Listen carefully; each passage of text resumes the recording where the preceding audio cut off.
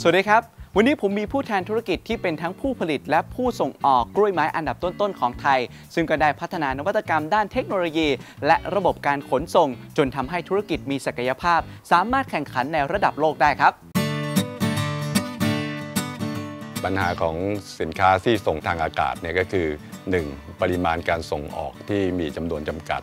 ราคาของการส่งออกทางอากาศที่แพง เราก็เลยค้นคิดว่าทำยังไงเราถึงจะส่งสินค้าตัวนี้ให้กับลูกค้าได้ในจำนวนมาก ๆ และลดต้นทุน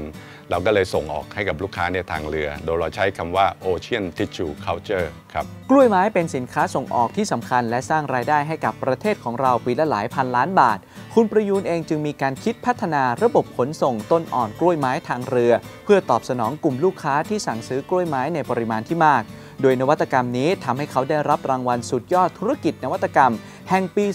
2553 จากสำนักงานนวัตกรรมแห่งชาติอีกด้วยล่ะครับ คุณประยูนครับ ระบบการขนส่งต้นอ่อนของกล้วยไม้ทางเรือเป็นยังไงครับ คือการส่งออกทางเรือเนี่ยมันจะลดต้นทุนของลูกค้าไปประมาณ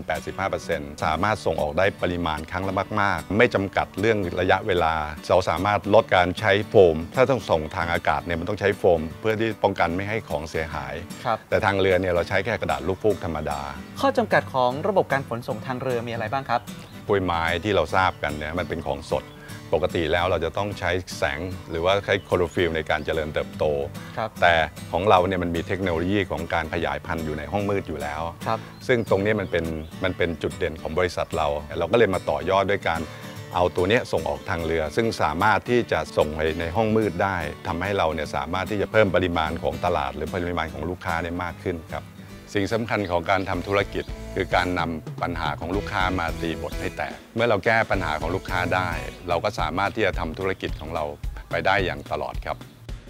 ระบบการขนส่งสินค้าหรือโลจิสติกนับว่าเป็นอีกหนึ่งเครื่องมือสำคัญในการยกระดับความสามารถทางการแข่งขันได้นะครับ ยิ่งถ้าหากต้นทุนต่ำแต่คุณยังสามารถรักษาคุณภาพของสินค้าได้เป็นอย่างดี โอกาสที่ธุรกิจของคุณจะได้รับความสนใจจากคู่ค้าก็มีมากแน่นอนครับ พื้นที่บนโลกธุรกิจยังมีที่ว่างให้กับความคิดดีๆเสมอ เราพร้อมที่จะเป็นเพื่อนคู่คิดเพื่อเคียงข้างธุรกิจของคุณตลอดไป สนใจข้อมูลดีๆ คลิกเข้าไปดูรายละเอียดเพิ่มเติมได้เลยครับที่ www.bangkokbank.com เพื่อนคู่คิดและ www.facebook.com เพื่อนคู่คิด วันนี้ต้องขอขอบคุณคุณประยุทธ์มาก ๆ ครับ ครับ เราสองคนลาไปก่อน สวัสดีครับ